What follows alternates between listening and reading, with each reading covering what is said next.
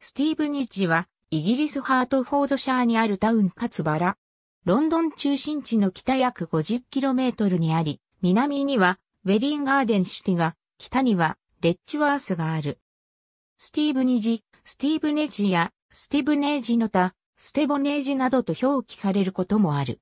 1946年にイギリス初のニュータウンとして指定された都市である。スティーブネジにある唯一の駅。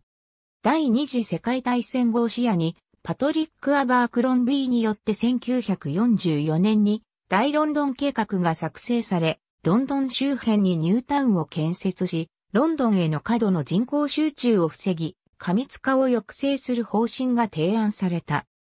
これに基づき、1946年にニュータウン法が制定され、同年の8月1日に施行されたが、スティーブ・ニッチはその5日後に指定の準備が開始され、11月11日には指定が行われており、1946年に指定された唯一のニュータウンである。計画人口は6万人であったが、1966年に10万5千人に見直されている。タウンセンターにある時計台が街のシンボルとなっている。鉄道の東側に近隣住区を基本に構成された住宅地が広がり、工場は鉄道の西側を中心に建設されている。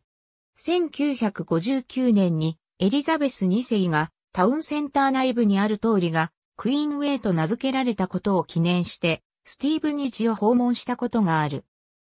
スティーブニッジに行くために使える列車はロンドンのターミナル駅であるキングスクロス駅で発着する列車のみである。キングスクロス駅からは列車で25分弱程度で行ける。ありがとうございます。